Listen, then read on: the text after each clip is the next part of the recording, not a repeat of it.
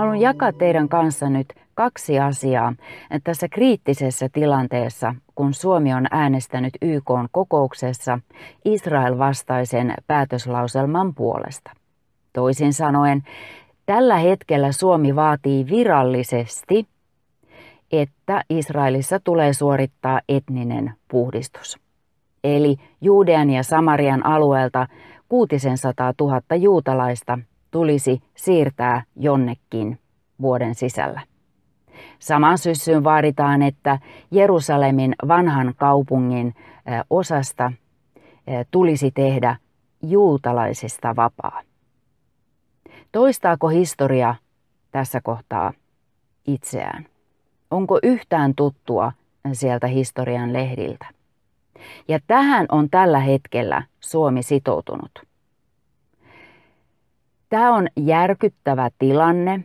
Mä huomaan, että tuossa meni viikon päivät, että Suomen uskovaisetkin on olleet jotenkin vähän niin kuin hapettomana, jotenkin järkyttyneenä toimettomina. Ja nyt on yhtäkkiä lähtenyt kuitenkin se Jumalan niin kuin, tämmöinen omatunto, niin siinä mielessä virjämään meissä, että yksi sun toinen on alkanut voimallisemmin ja voimallisemmin tästä asiasta puhua ja ottaa siihen kantaa. Haluan jakaa tässä seuraavassa ajatuksia siitä, että mitkä on niitä perusteita, että todellakin sanoudun irti tästä Suomen virallisesta kannasta ja nimenomaisesti seison Israelin rinnalla. Haluan jakaa myöskin teidän kanssanne sen kirjeen, jonka laadin eilen yöllä eh, meidän maamme presidentille sekä ulkoministerille. No ensinnäkin kirjasin hieman näitä asioita ihan niin kuin listaksi, jotka liittyy nimenomaisesti siihen, että miksi Israel on niin kallisarvoinen. Ensinnäkin, Israel on Jumalan luoma konkreettinen fyysinen kansa. Israel on se kansa, josta maailmaan syntyi vapahtaja. Eli Jeesus on juutalainen ja hän itsekin on sanonut, pelastus on juutalaisista. Jeesus on juutalainen yhä. Hän elää ja hän tulee takaisin. Israel on myöskin juutalainen valtio, joka sijaitsee Jumalan maalla, jonka Jumala itse liiton Jumala, on liitolla luvannut kansalleen. Israelin kansa on maailman ainoa kansa, jonka rajat ovat Jumalan liitolla varmistetut ja luvatut. Israel on kansana, maa-alueena ja valtiona Jumalan profetioiden keskiössä. Tuon kansan, maan ja valtion kautta Jumala tulee näyttämään koko ihmiskunnalle, että hän on Herra. Israel on myös se kansa, johon minut on liitetty. Eli minut on oksastettu. Minulle on annettu Jumalan kansan kansalaisuus. Saan olla tänä päivänä pelastettu siksi, että tuo Jumalan luoma kansa on kantanut läpi vuosituhannet Jumalan ilmoitusta itsestään, rakkaudestaan ja pelastuksesta.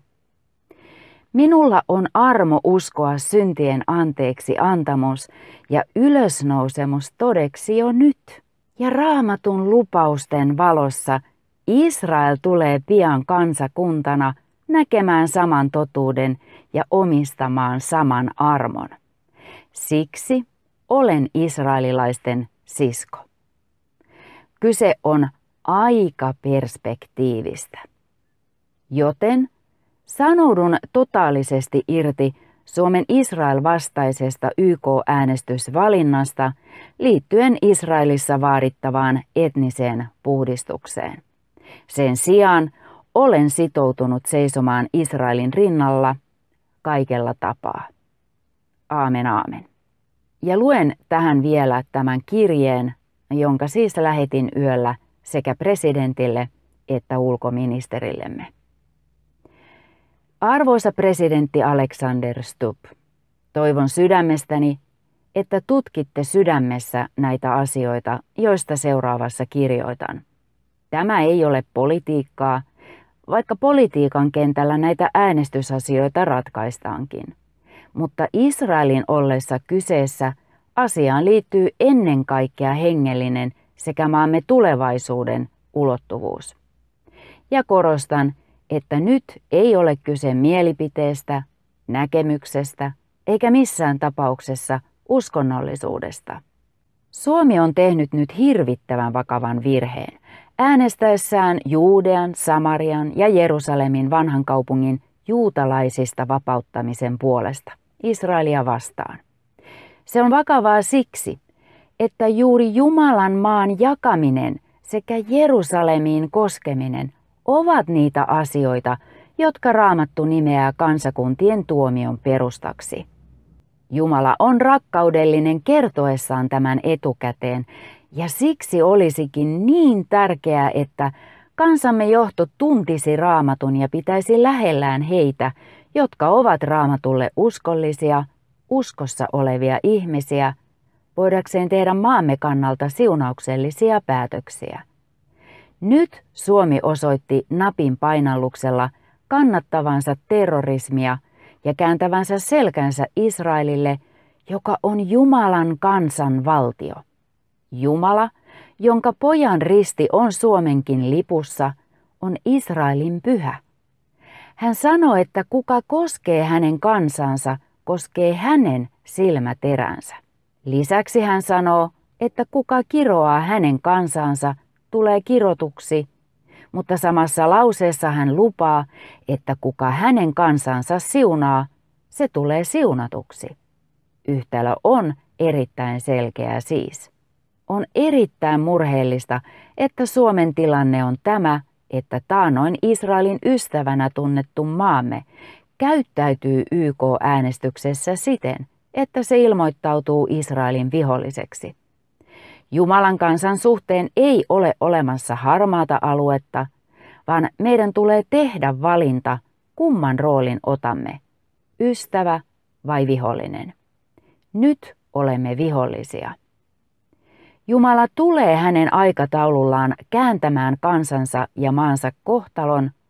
Tuolloin punnitaan se, miten kansakunnat toimivat Jumalan kansan ja maan suhteen tänään. Pyydänkin, että maamme johto toimii tässä kohden rukoillen ja raamattua lukien hiljaisuudessa kukin kahden kesken Jumalan kanssa, sillä hän kuulee vilpittömän sydämen rukoukset ja kyselyt. Hän tahtoo auttaa maamme johtoa pyytämään Israelilta virallisesti, julkisesti anteeksi.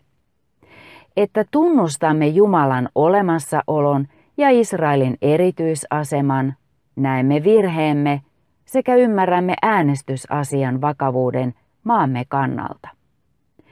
Nämä kaksi raamatun kohtaa puhuvat tästä nimenomaisesta asiasta selkokielellä. Sakaria luku 12, jakeet 1-3. Ennustus, Herran sana Israelista. Näin sanoo Herra, joka on jännittänyt taivaan ja perustanut maan, ja joka on luonut ihmisen hengen hänen sisimpäänsä. Katso, minä teen Jerusalemin juovuttavaksi maljaksi, kaikille kansoille ylt ympäri ja myös Juudan kohdalle se on tuleva Jerusalemia piiritettäessä. Ja sinä päivänä minä teen Jerusalemin väkikiveksi kaikille kansoille. Kaikki, jotka sitä nostavat, repivät pahoin itsensä. Joelin kolmannessa luvussa jakeissa yksi ja kaksi sanotaan, Katso, niinä päivinä ja siihen aikaan, kun minä käännän Juudan ja Jerusalemin kohtalon, minä kokoan kaikki pakana kansat, vien ne alas Joosafatin laaksoon ja käyn siellä oikeutta niiden kanssa, kansani ja perintöosani Israelin tähden. Sillä he ovat hajottaneet sen pakanakansain sekaan, ovat jakaneet minun maani. Jos kuvittelemme, että äänestysasian voi jättää näille sijoilleen ja että sotilasliitot ja muut kytkökset muihin maihin auttaisivat meitä, kun Jumalan sallimat kiroukset kohtaavat kansaamme ja maatamme, niin kuvittelemme väärin.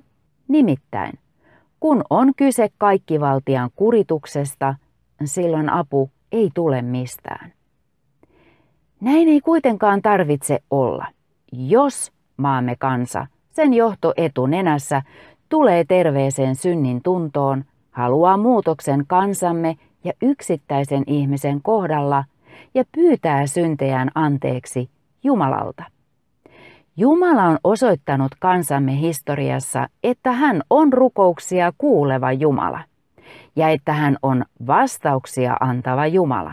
Nörtymisen ja Jumalan tahdon mukaan elämisen myötä anteeksi pyytäminen Israelilta tässä kriittisessä tilanteessa kääntyy siunaukseksi, koska Jumala valvoo, että hänen sanansa toteutuu. Eli toistan, kuka kiroaa Israelia, se kirotaan, kuka siunaa Israelia, sitä siunataan. Haluan suurella sydämellä kertoa myöskin tämän. Jeesus kutsuu edelleen ihmisiä armonsa piiriin. Eli hänen täydellinen rakkautensa mahdollistaa sen, että me kukin voidaan levosta käsin kohdata totuus itsestämme syntisinä, nähdä maailmamme tapahtumat profetioiden valossa ja luottaa siihen, että Jeesuksen sovitustyön ja ylösnousemuksen vuoksi voimme ottaa vastaan hänen ikuisen elämän lahjansa.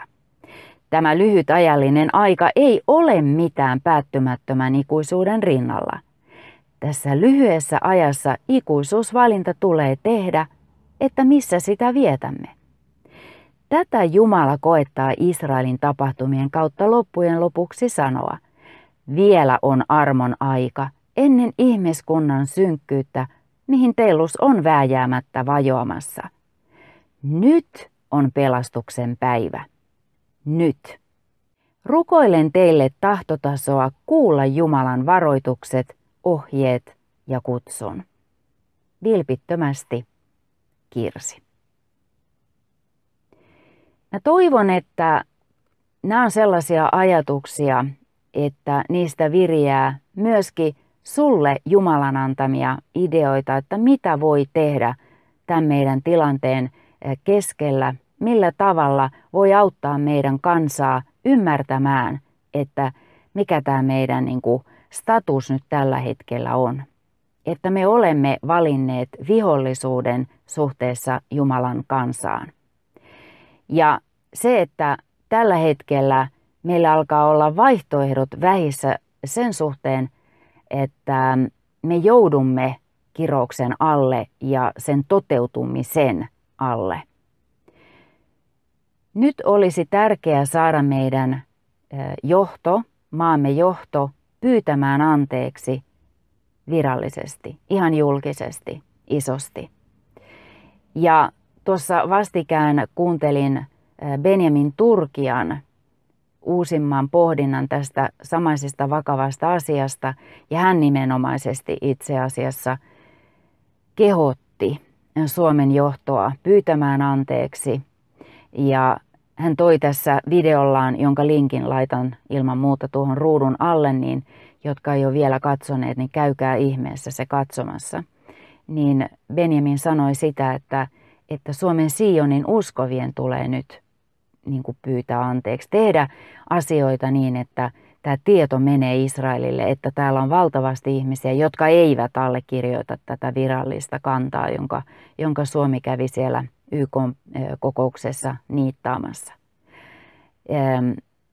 Tätä videoa tehdessä en tiedä, on ainoastaan huhu, että olisi ihmisiä, jotka on nyt tätä adressia puuhaamassa. Jos tällainen toteutuu, niin laitan sen sitten ruudun alapuolelle, sen linkin. Ja toivon todellakin, että me tavalla tai toisella tehdään tätä asiaa selväksi, kuunnellaan mitä Jumala haluaa meille sanoa ja myöskin sitä, että onko joku tietty kansanedustaja esimerkiksi mm, tai hallituksen jäsen tai Knesset, ihan niin kuin miten Jumala sen nyt näkee, niin se, jolle sinun pitäisi laittaa viestiä ja hän kyllä antaa silloin oikeat sanatkin. Mutta se, että jos tällainen adressi todellakin saadaan osaavien toimesta ja rukoillaankin, että näin tapahtuu, ja tosiaan on voinut, että tämmöinen on jo käynnistynyt, kun teen tätä videoa tässä ja tallennan että me saataisiin myöskin sellaiset ihmiset ymmärtämään tämän asian, jotka ei tiettävästi Jeesusta vielä omana vapahtajanaan tunne, että nyt on kyse Suomen tulevaisuudesta. Että hekin motivoituu ilmaisemaan tämän kantansa, että he eivät halua äänestää missään tapauksessa Israelia vastaan, vaan nimenomaisesti haluavat ottaa kantaa siihen, että me seisomme, me allekirjoittaneet seisomme Israelin puolella, rinnalla, kannalla. Mutta tosiaan, kysele Jumalalta siellä omassa rukouskammiossa, että kuinka Jumala haluaisi sinua käyttää siinä, että asia menee eteenpäin, jotta mahdollisimman moni tulee tietämään tästä asiasta, kuinka ihmiset sitten valitsevat omalla kohdallaan ja kuinka meidän valtiomme johto valitsee, se on silloin heidän valintansa ja he on tilivelvollisia Jumalalle. Mutta ei anneta nyt sellaisen apatian ja toimettomuuden jotenkin lamauttaa meitä, vaan todellakin kysytään, että Jumala, tässä olen palvelijasi kuulee, mitä haluat, että tämän asian eteen teen. Siunataan Israelia yhdessä. Herra, siunatkoon sinua Israel ja varjelkoon sinua. Herra, kirkastakoon kasvonsa sinulle ja olkoon sinulle armollinen. Herra, kääntäköön kasvonsa sinun puoleesi ja antakoon sinulle rauhan. Isän, pojan ja pyhän hengen nimeen. Aamen, aamen.